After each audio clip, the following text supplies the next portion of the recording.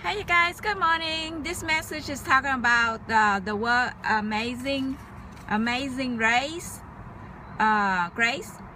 And you guys notice that show on TV is the amazing uh, race show, right? So amazing race versus amazing grace.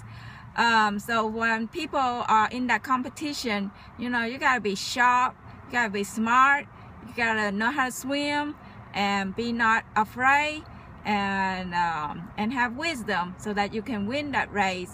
And sometimes it'll be split second to um, to win that race. And you know there's like millions of people trying to apply and get into the show.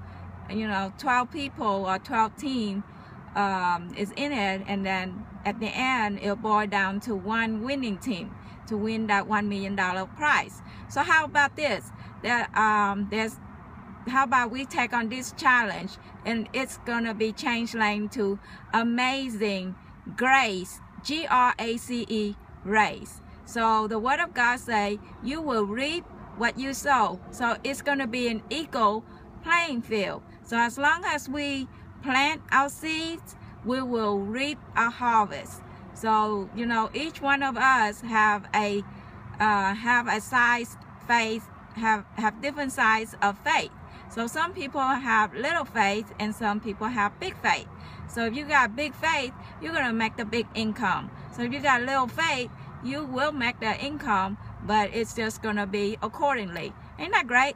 So how would you guys like to have received $500,000 within 24 days or within 24 weeks or within 24 hours. So message me. I will show you guys how to put the ingredients together.